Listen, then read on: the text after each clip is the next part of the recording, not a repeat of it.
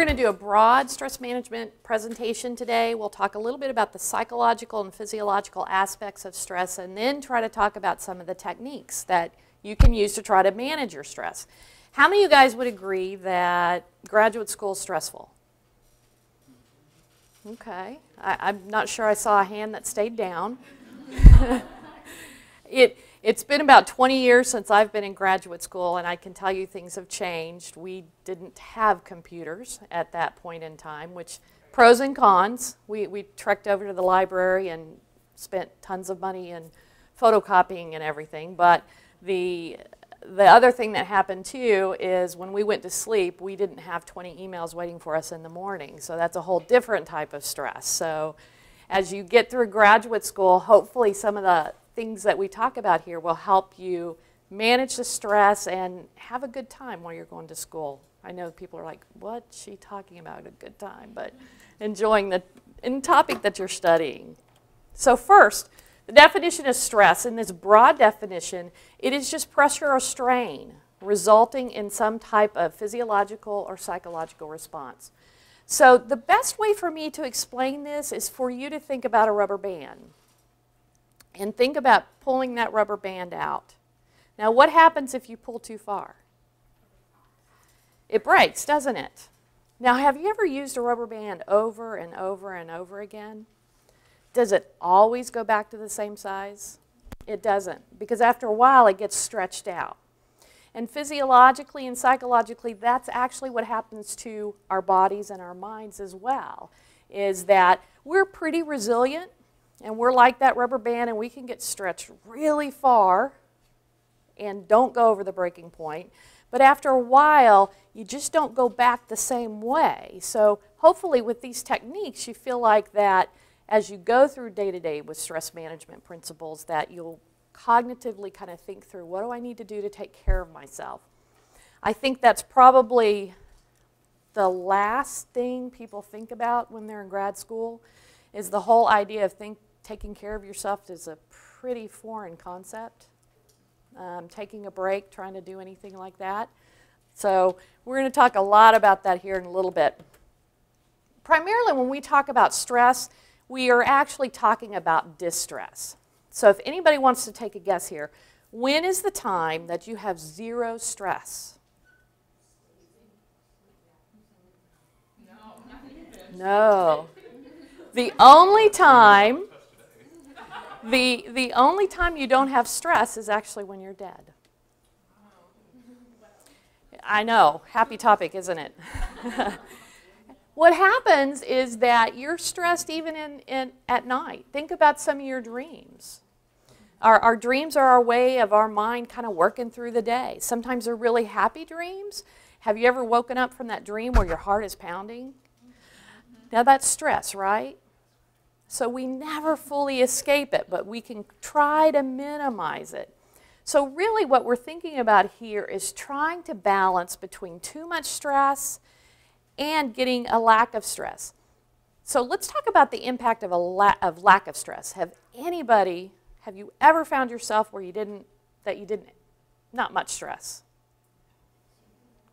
And what was your motivation like?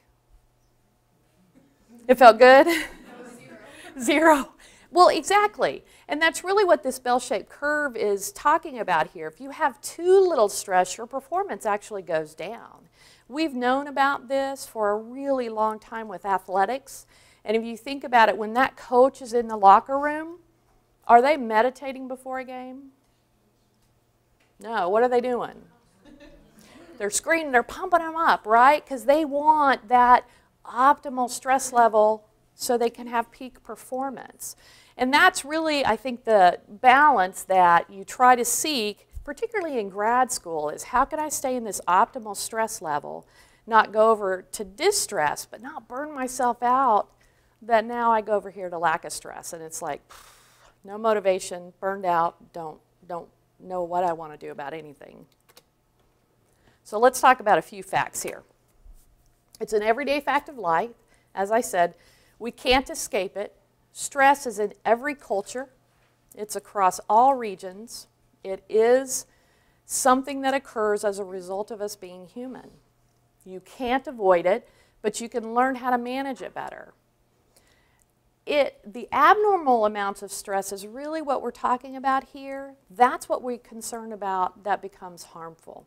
We know that research has indicated that if we keep people in prolonged periods of stress without any break, they begin to demonstrate signs of symptoms of anxiety and depression. Would anybody be surprised about that? You just start feeling oppressed.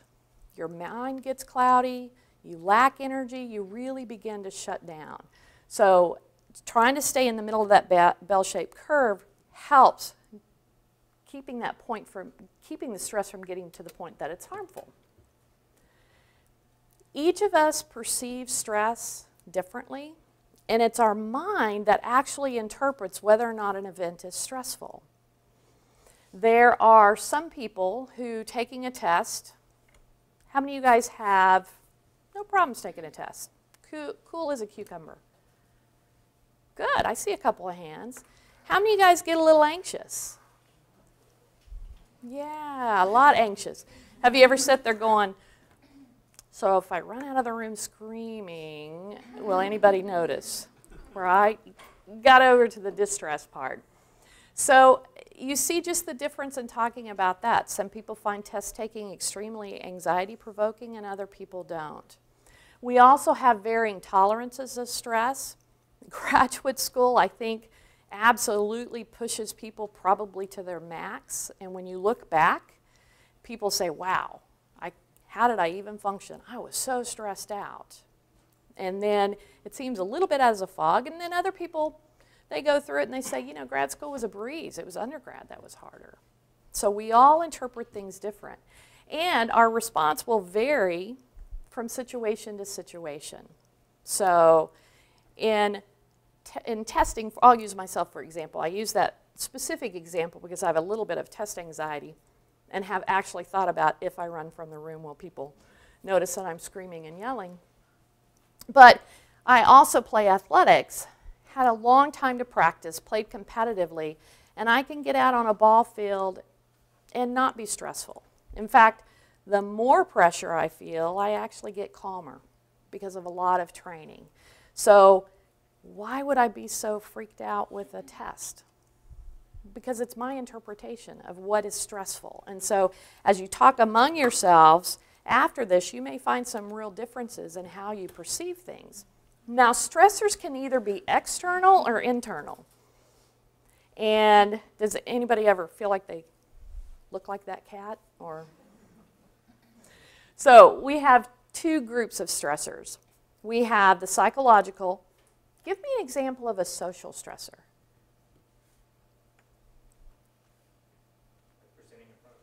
Mm-hmm. Absolutely. That's a good social stressor. Yes. Good example. Occupational stressor.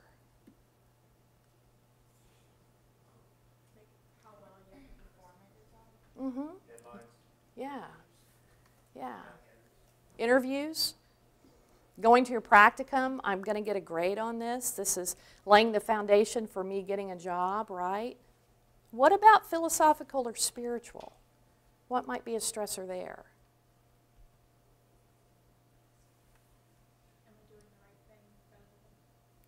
Mm-hmm.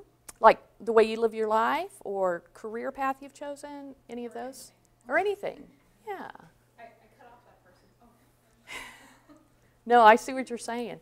The other thing that I see happening in undergraduate and graduate school many times is that folks sometimes feel like they can't practice their spiritual beliefs as frequently or as in depth as, they, as they'd like to because, again, they constantly feel pushed.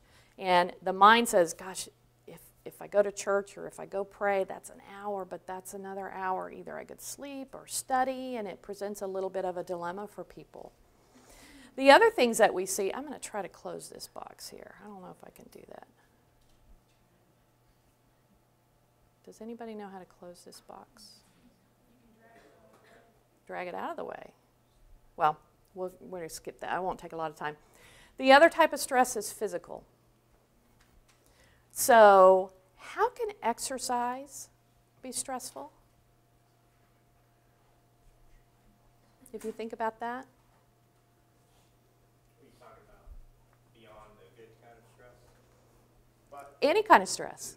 I guess you push yourself to a limit, or if you push yourself much, hmm maybe, you know, that threshold where you have your endorphins are flowing, beyond that, where your body just begins to shut down. Yeah, exactly. If you keep in that optimal level, that's actually where we see performance increase. You get, you get more strength, you get more balance. If you go into that distress end, that's when you have injury. You begin to shut down. The other type of stress is illness, if you think about it. And when you're ill, your body does not cooperate, does it? It has a mind of its own. It does not matter that you have an interview tomorrow. It does not matter that you have a test. It will shut down and create a lot of stress for you. We all also interpret the various intensity of stressors. And how we interpret the intensity of stressors is, is based on a couple of things. One, it can be based on our impacted, how we're impacted by loss of control. And let me give you an example of an experiment. Of course, as researchers, we tend to put people in rooms and do things to them. And they've agreed upon this, but this is how we get information. So this one study was actually about noise. And what they did with students was they set them in a room. Some students had a button, some students did not. And loud music was blasted. And the students with the button were told, at any point in time, you can push that button and control the noise level. Well, guess what? The button wasn't connected to anything. It was all perception. But when they measured people's physiological response to stress as well as, well as their self reported experience to stress, those who felt like they had control of it, even if it was fake, the fake button, were less stressed. So if we feel more out of control, our stress goes up. So in grad school, do you ever get to the point where you feel like you're a little out of control? Or you don't have control of assignments, due dates, anything like that? Whereas if you look at your schedule of tests or things like that, and, and I don't know about you guys, but in grad school, mine never were evenly spaced. You know, it wasn't like one test here, one test there. It was like they were all on the same day for whatever reason. It's like, it's like the professors got together sometimes, right? Does it ever feel like that? Yeah. So that loss of control will increase your perception of stress as well as predictability. And again, when we do a lot of psychology experiments, we tend to use a lot of rats and mice. Their brains have similar processes as we do. And this was about predictability. So they would put mice in a maze and they would shock them periodically. And for some of the mice, they got a random shock, and for others, got shocks at certain intervals always. So, for example, if they turned the corner here and went left, they always got a shock. And then another group, if they turn left at a corner, they may not may or may not get a shock. So again, when they went back to measure those mice's physiological, of course we can't get psychological, physiological response to stress, guess what? The mice that knew something was coming had lower stress levels. Why do you think that is? Anybody? Yeah, they prepared, they braced. You know, it was like in their head, they said, okay, I know what's coming. I, I know what's going to happen next. And so, with that predictability as well, we're able to practice probably some cognitive techniques that say, okay, calm down, I'm going to get through this. Or we do a lot of stress management techniques prior to that event to try to go into that feeling a little bit more psychologically or even physically healthy. So, let's talk about three phases of stress with our body. And we're going to go through each one of these the alarm, resistance, and exhaustion phases. So, first, the alarm. How many of you guys are familiar with that fight or flight stage? Good. It is that reptilian part of our brain. It is old, old, old. It, it's there for a purpose. It keeps our species going. And what ends up happening is that reptilian brain decides, oh no, this is a stressful event. And then it tries to decide, am I fighting? Do I need to flee? And then we've also, through research and time, added another one, or do I freeze? Kind of that deer in the headlight. Do I just, I can't do anything, I'm so stressed. And that reptilian brain, it has no thinking structures. It is pure reaction and survival. And so what ends up happening is in, the body doesn't think, the body believes there's no time to think. And so it begins to throw all these hormones, stress hormones, cortisol into our body because it wants our body to start moving.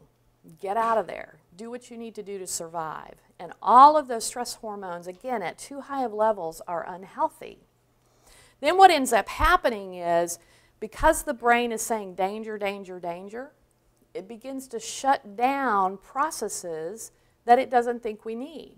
Well, the, one of the first things to go is your thinking, because if you're running, what do you need to think? Get the heck out of there. Um, let's go that way. Then the other thing it does is it begins to remove all of the blood flow from your extremities. So if you're really, really stressed, kind of a quick tip, unless you're in a really cold room, is to take your fingertips and just put it on your cheek. If you're really stressed, your hands are going to be cold and your feet are going to be your feet are going to be cold. Because what happens is the body says, "I need to protect the most vital organs because I want you to survive." So everything kind of goes to the heart, the lungs, digestion shuts down. You don't need to process your food if you're trying to get out of there. Keeps blood flow to the brains, to the brain, sorry. And, and again, it's trying to protect itself. All thought is gone. And again, we can leverage that if we keep it in the middle and we'll see faster reaction times. We'll see positive aspects. Unfortunately, for most of us, again, we let it get over into that distress area. Then the resistance phase. This is where the body is saying, okay, we gotta, we've got to soldier through this. Let's keep going. So we have a lot of that cortisol uh, released. They want to maintain some of those initial effects in that alarm phase. So you'll see that blood pressure continue to rise. Have anybody, has it, how many of you guys have had your blood pressure taken? Okay. Have you ever noticed a difference of what your blood pressure was depending on what you were doing right before that visit? And if you were doing something that your mind or body perceived as stressful, what was your blood pressure like? It was a lot higher because the brain, again, was saying, okay, you're really stressed, I got to help take care of you. And so you'll see a huge difference there. Also, again, they're dumping the glucose into the muscles because we want you moving quicker and quicker and quicker. Digestion is gone. And what ends up happening is if you don't slow things down, then you start moving to this next phase. And this is that phase of that rubber band where it's getting way too far out there. And this is the exhaustion phase. How many of you have ever been to that place where you just you can't think anymore? Okay. And what what was it like for you? What did you notice? Whether psychologically, physically, you're what? Drained. No energy. Okay. Any others? Lack of motivation. Exactly. The couch was your best friend for a while. What else? There's some other, there's tons of things that can happen, but a, a few that are kind of quirky is that we can lose the ability to do some math and we'll develop some word anomia the whole math thing, when, some, when I first learned about that, I was like, I already can't do it, so that doesn't matter. But simple math, sure, we could do that. And there was a particular time we had uh, kind of a tragic event here at Texas A&M, and so I had worked way too many hours. I knew I had. And again, you know, oh, no, I'm fine, I'm fine, I'm fine. I'll sleep when this is over. And it was about 10 o'clock at night, and I did about probably the most unhealthy thing I could do. I was dying for a Dr. Pepper with caffeine at 10 o'clock at night. And so I go to Taco Bell and I'm going to get this drink. And so they say, okay, that's 89 cents. And I'm sitting there with my hand and I'm like, okay, you can do this, you can do this. And I sat and looked at it. And finally, I just held my hand out and I said, just take what you need. I mean, it was gone. Totally could not think. And I remember thinking to myself at that moment, going, this is what they're talking about. Oh my gosh, this really does happen. It's not just a theory. And so I, I, will say that as a result of that, because I'd never really experienced that, I, I said, you know, I got to sleep a little bit more. I got to slow down. I got to do something to take care of myself because pretty soon, though I think I'm performing really well, I'm probably not. I'm not taking care good enough of myself. So as you get to this mental exhaustion things, your body, if you don't slow things down, your body will shut you down. And you guys were just talking about that exhaustion, no motivation and no energy. That's the body saying, look, you went really overboard. It makes you more susceptible to illness.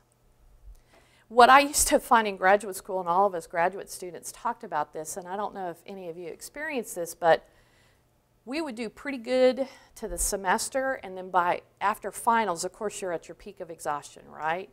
Just dead. We all got sick over Christmas. Every doggone time. Has anybody done that yet or, or felt that? That was kind of the pattern we noticed in our program. So it was like, oh my gosh, what was happening? That should be our time off. We're relaxing. Well, we, we went into the break too exhausted. We were so susceptible to all the germs and illnesses that the body said, aha, gotcha, and, and really shut us down for that time period. So, again, another physical warning to us of look, guys, slow down, take care of yourself. If you don't, I will. Now, each of us, as we experience a stressor, as I mentioned earlier, we're trying to evaluate that stressor based on okay, do I need to be fearful here? Am I in danger? Is this a stressful event for me? And so here's some of the things that we ask ourselves Is that stressor irrelevant? Is it harmless? So, one of the things that I, I always give an example is have you ever been sitting in your house and you hear this loud bang, and it sounds like gunfire. And it was, and initially, physiologically, your heart's pumping a little bit. You go out, it was a car backfiring. So at first, you weren't sure if it was harmless. You find out what it is. Okay, now I can relax. Or does it even matter if I need to be stressed about this? Then the other thing is, is there some sort of threat or challenge happening? What ends up, particularly in grad school, is you don't face physical threats. You're safe when you come in the building. You take your test. Nobody's, you know, here to hurt you. But the brain interprets it really as kind of a psychological threat. And for most people in grad school, very high achievers, want to do the best you can, you begin to develop this thinking pattern of, okay, I have to get all A's, I have to do very well, I'm going to apply for my practicum, I'm going to get a good review, then I'm going to get a job, right? You start linking all of that together. And what happens at any of those points if you don't feel like you're doing well? Sometimes the thinking then starts, oh no, they're going to kick me out of graduate school. What am I going to do? What career am I going to have? And again, this negative thought cycle can begin. So many times, it's not physical threats that we're actually dealing with, it's more psychological threats that we've interpreted. Then the coping mechanisms that we have available to ourselves are cognitive, the thoughts. And I just gave you that example of thinking patterns that can either increase or decrease stress. So when the car went off and, and I went outside, let's say, and I found out, oh, it's just a backfiring in my mind, my cognitive structure was okay, no big deal, car backfiring, everything's safe. Physiologically, everything decompresses. So our thoughts can either increase our stress or decrease our stress. Somebody have an example of a thought pattern or a thought that might increase your stress?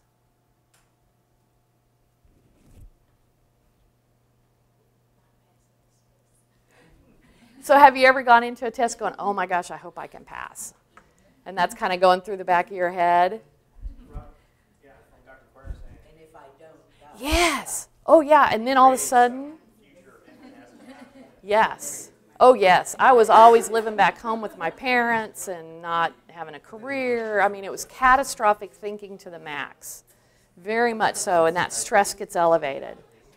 Whereas if you go into the test and you're like, all right, I studied, I know this content, woohoo, I'm good to go. Stress is lowered. Our behavior helps us cope. Can somebody give me an example of a behavior that might be a coping mechanism? Doesn't matter if it's healthy or unhealthy. Mm-hmm. Yeah. It, no, it does, yeah. There's a little bit of pain involved, and it, it escapes from the psychological pain. Mm-hmm. Very much so. Grinding your teeth, yeah. Shaking your leg. Exactly.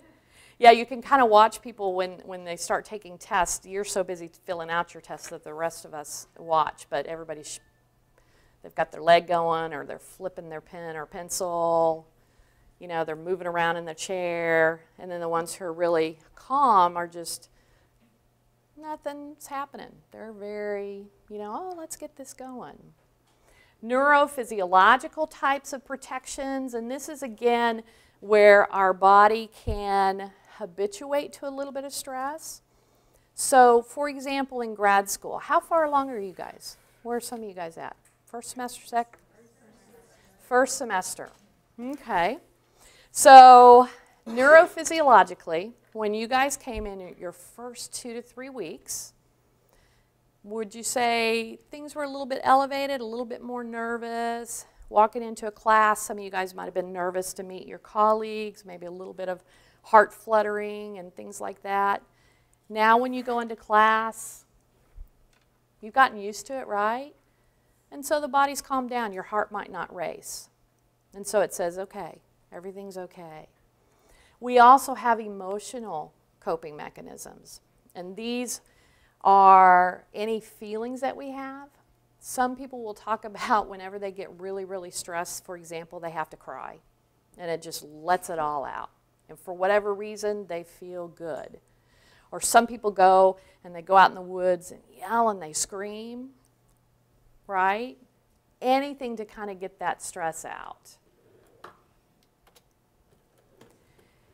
The questions I often get is, why do different people respond to stress differently? And, and it's a question we actually ask in a, a lot of disaster situations when we had two people, for example, that have experienced the same thing during Hurricane Katrina.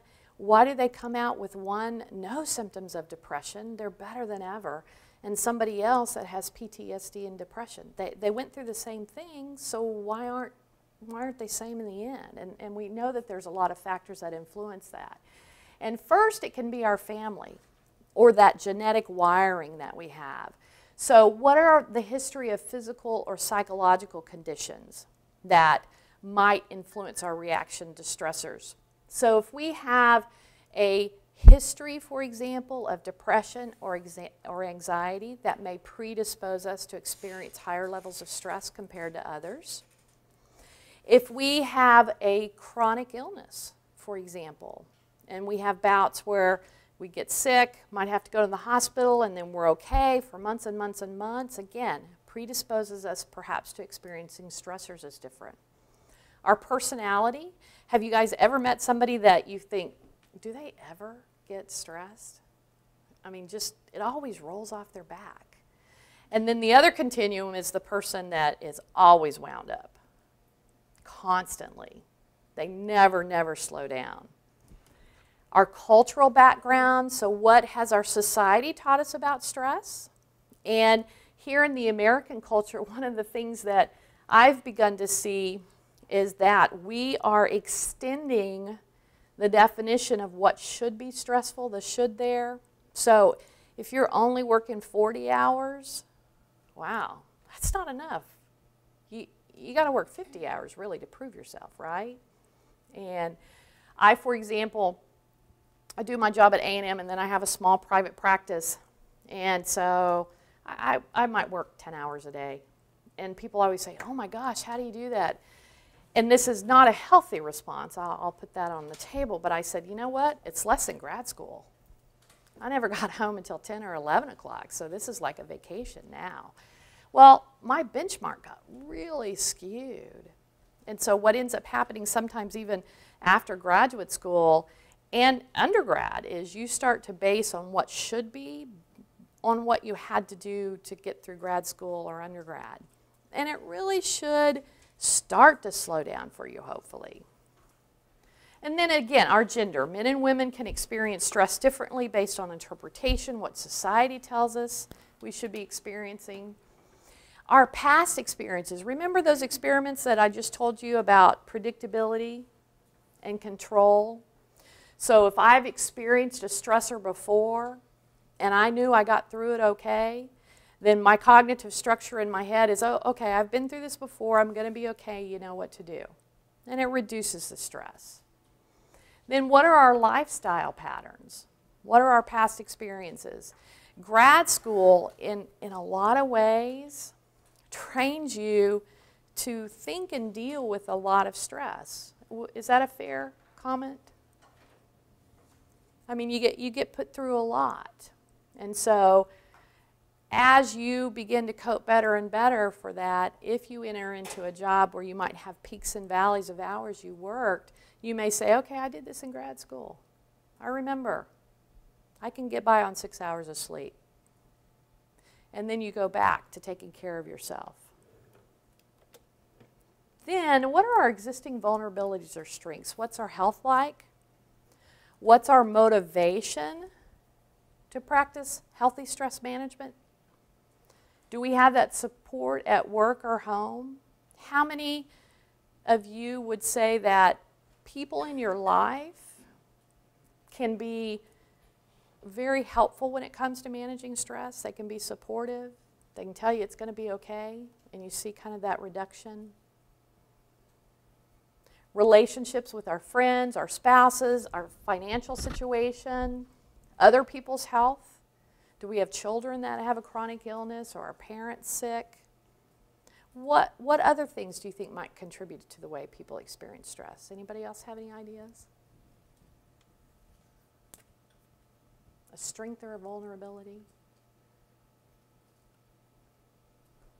Their standards Mm-hmm. for what they consider to be failing or successful because that would determine whether you trust out to something. Okay. Can, can you give me an example? Like, alright, um, I was really stressed out freshman year of college because I needed to have a certain grade level to keep a scholarship. Mhm. So, while other people would be completely happy, for me it was, I need to get, keep this, I need to do this, I need to do this, and so. Yeah. Yeah, perfect example, and thank you for sharing that. I, I suspect there's probably a lot of people in this room that have felt that pressure of they have a certain definition of what they have to do. And, and gra- you know, in undergrad, you'll hear a lot of graduates, I mean, a lot of students say A's and B's. I'm okay with A's and B's. Then you get in graduate school, and what ends up happening? Nothing less than an A. Come on. And nothing less than a 98. And even that's not good enough. So you begin to push that bar. And that, again, predisposes us to stress. Then our existing beliefs. We can have spiritual or religious influences. Many people find that their spiritual beliefs, their religious influences help them manage stress. They may have certain phrases that they repeat to themselves, Bible verses, um, rituals that help them really manage and reduce their stress. The other thing is if you have an open communication style, if you talk about your feelings, people tend to manage their stress better versus if they only internalize. What are your moral values? And this accepts health is huge. Help. This is huge. What we're finding, one of the questions when remember when I gave that Hurricane Katrina example, why do two people come out different? The person who comes out really with less issues, we're finding that we're using this term called resiliency. And part of resiliency is asking for help when you need it. And in graduate school, that can be a little bit tricky. If you don't have a lot of friends here, if you don't have a lot of personal relationships that are supportive, or if you're away from your family, and you've had, you know, I work with a lot of graduate students, for example, and it's the first time that they're this far away from their family, so they're not able to visit like they used to, whether it be every other weekend or even a semester or a whole year. And again, they feel a little bit more cut off and stressed. And then how we view ourselves. That, that puts us at risk or helps us manage stress. So as we've gone along, we've talked a lot about the distress action aspect of stress. And there are positive aspects, and we've alluded to those a little bit. And so uh, let me go back, and we talked about athletics. And so again, it can help us concentrate and it can help us focus. So if you need to study for a test, I think we've already talked about this. You need a little bit of stress to be motivated. If you get overly stressed, motivation goes down. It helps us, it helps in our performance. It helps us practice. And, and I would substitute the word study here. You know, it's really easy to procrastinate. And then if you get enough stress, you get a little bit motivated because you want to reduce your anxiety and stress. Okay, I better go study. What happens with procrastinators, by the way, is they use procrastination to kind of amp themselves up as a motivator. I'm going to see how far I can push this back. Then I get stressed enough, right, to do it because you're not feeling it, not really wanting to get motivated. It's a it's an okay technique. The problem is some of us um, don't recognize when we've gone too far with our procrastination. And then we're really in trouble. And so we, we have to kind of learn from that. And it helps us get moving. Again, I use that fight or flight reaction and I know I talked that about the reptilian brain and not thinking, but sometimes it's important not to think, and if you're in danger, to get out of there. Get those muscles moving. That's positive for us. So we're going to move into kind of talking about, now you guys know about stress, how us as individuals may see stressors differently. So let's talk about what stress management is. First, we have to identify the stressful events. And one of the things that I see happen is many people don't fully identify all the stress in their life. And what they do is they tend to minimize things. For example, no, I only got four hours of sleep. Are you kidding me? No big deal. I'm used to it. Have you ever said that? I'm used to not sleeping. And what does the research say about uh, sleep? It's critical. Our body and our minds have, have to really heal during that time. So, uh, the first thing I always ask people is how many hours of sleep are you getting?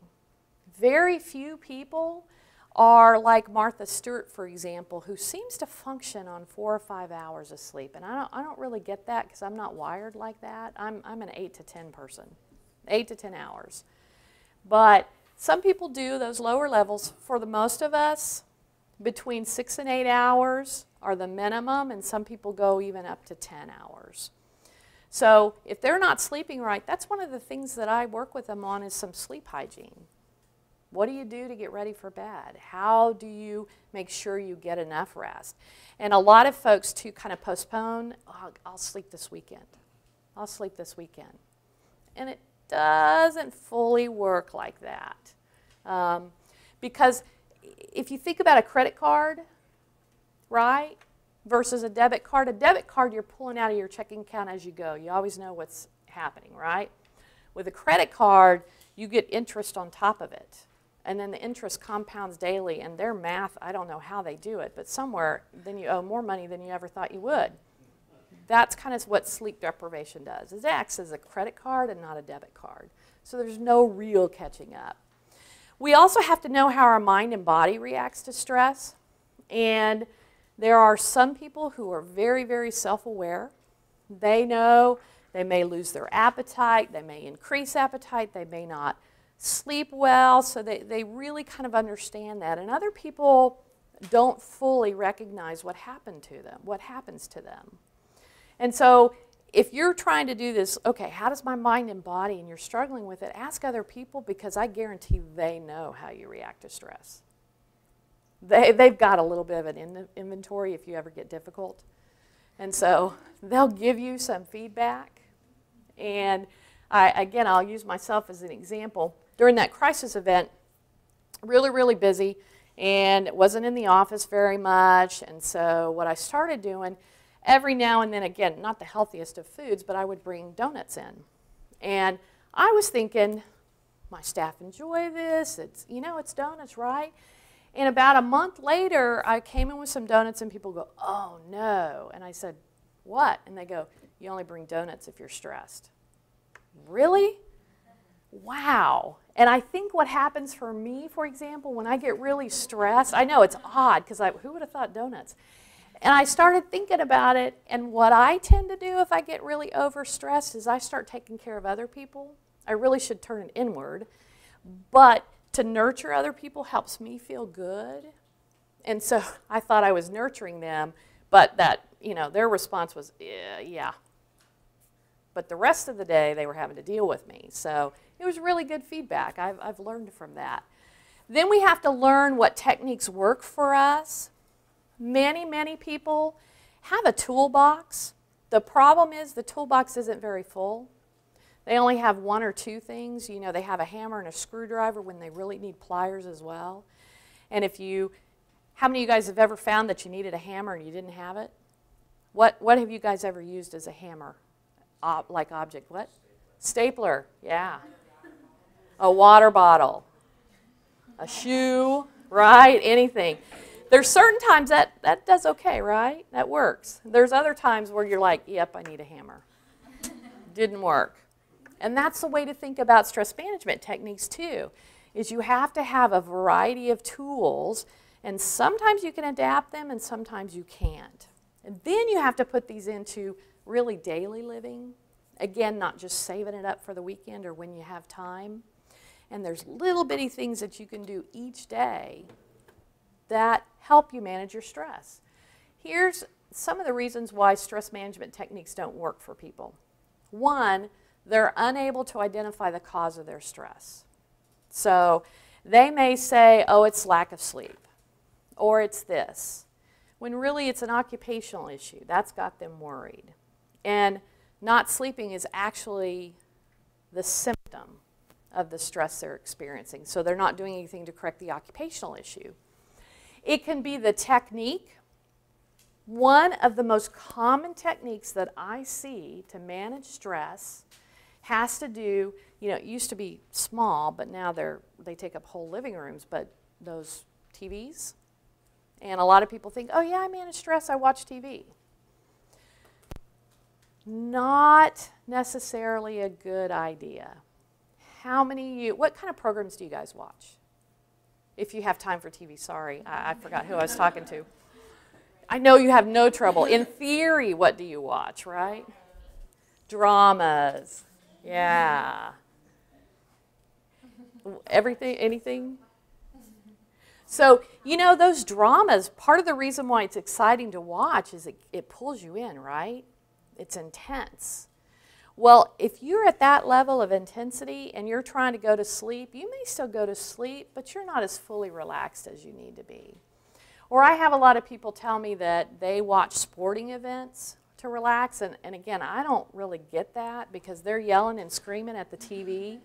And I'm like, you are amped up. And they're like, yeah, but I love it. This would help. You know, it's like, oh my gosh, no. Let's, let's have a conversation about what stress management is. So it's really important to look at those techniques. Do they amp us up or do they relax us?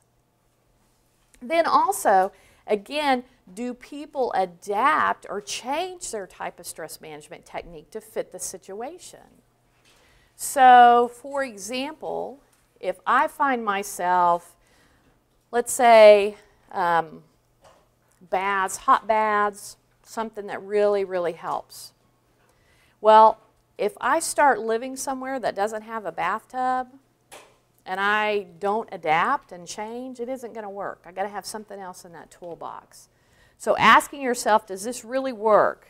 Does this help me reduce stress? Here are some of the long-term techniques. Time management. It is probably one of the most difficult things to do, to manage your time. Assertiveness, setting limits with people. I know some of you guys have to go, so please do, do what you need to do. Assertiveness is when you tell people, listen, I, I need to set a limit on this behavior, or I need you to do this or that. Our nutrition. And nutrition is actually something that I see that goes out the window. As an undergrad, I used to see all these people carrying around Diet Cokes in the morning, like at 8 o'clock, or coffee, and I swore to myself I would never be one of those. I was going to be water, I was going to be healthy, and I think I made it one week into grad school and I had my own, you know.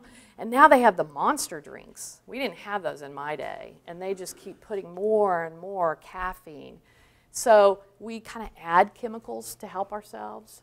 We don't eat right. And how many of you guys would agree is nutrition something that's always one of the first things you do? I mean, when you get really stressed, you go home and eat a salad? no, that is not satisfying. Not at all. It's more like carbohydrates, something to feel a lot better. So it goes out the window. And in grad school, it's really easy to have happen. A lot of the students that I work with when we work on nutrition is they get to school at, at 7.30 or 8 and they get home at 10 and they never leave the school grounds. So practicing really good nutrition is a challenge. And you know, when you live out of your backpack, it's usually not refrigerated. And so you're packing things that aren't necessarily, that they're more processed. Exercise, again, something that I see a lot of folks in their life, but particularly in grad school, that they that you know you just don't have time for it anymore. I'll, I'll squeeze that in here. I'll squeeze that in there. Then relaxation exercises. This is a simple as just sitting there for five minutes and not saying or doing anything. Taking a deep breath, letting the silence fall before your knees start bouncing because you know you need to get somewhere else, but just taking a moment listening to music, a hot bath, anything that physiologically begins to bring you down. These are all elements that you can apply to everyday life. And the other mistake that I see people do, for example, with exercise, they've come to define exercise as being as an hour and two hours in the gym. It's walking around this building twice. It's anything that kind of gets you moving and get your mind cleared out. So redefine for yourself what exercise is. It doesn't mean you even have to get sweaty. It, it's just moving. That can be helpful. Things to avoid. Too much TV. I gave that example already, how some of the shows can physiologically elevate you more. Alcohol is a depressant. Now, a lot of people think that alcohol actually helps you sleep better. And you may fall asleep faster after drinking because, again, it's a depressant and things are slowing down, but it disrupts your dream states. If you've had too much to drink, you never go into the deep stages of sleep that really are healing. It's what our body looks forward to every single night, and it's, it's the time our body heals. And if you never get into those deep REM states, what ends up happening is the next day you're more tired. You're not thinking as clearly. So it interferes with that. Any type of drugs, caffeine, tobacco, you know, are big ones. They're socially acceptable, so we don't find them as drugs, but they're, but they're chemicals that we put in our body, so we have to watch that. And then food. Again, many of us will use food as, as a stress reliever. And again, sometimes it's it's not really what we eat, it may be the amount or the frequency. So, how do you pull all of this together? Well, hopefully, from what you've seen from this, is that when we define stress, while we're typically talking about distress, there are actually positive aspects of stress, and you can leverage those to your exam to, to really benefit yourself. It's finding the balance. So try to find a way really to make that uh, an, your ally versus your enemy. So again, if you need to get motivated for a test, then think about what window you need to be to study. You'll get a little bit physiologically elevated and start studying then rather than, again, procrastinating until you're almost in panic. That's, that's too far over. Identify what your stressors are, stay away from that distress, harder to do than it is for me to say. Then try to make a plan to reduce or eliminate some of your stressors. It may be as simple as I always use this example. We start our day physiologically elevated. How many of you guys have an alarm clock? Is it one of those happy ones that says, Welcome to the day. Thank you for joining us? Mine doesn't. What is it? That loud noise, right? And if you're in a deep sleep physiologically, what happens? You pop awake, your heart's racing, takes a couple of breaths. Well, oh my gosh, we've just set the tone for the day.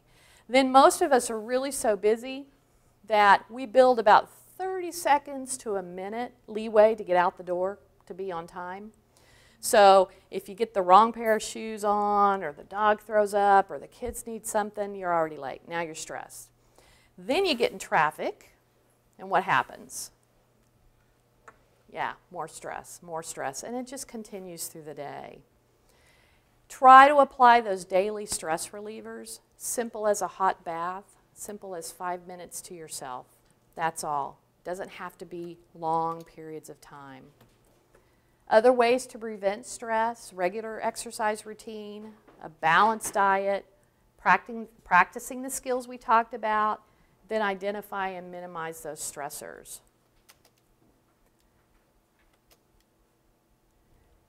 Find help when you need it. Ask for help. Say, you know, I'm overwhelmed. Can you just talk to me? Let's go do something.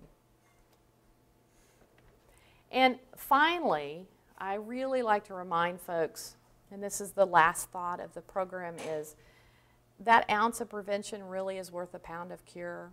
If from the outset we can manage our stressors, if we know that this test is coming up, what do I need to feel better? Okay, I need to back up my studying time. I need to make sure I have healthy foods here. How can I manage my time? Then you're not as stressed going into that test.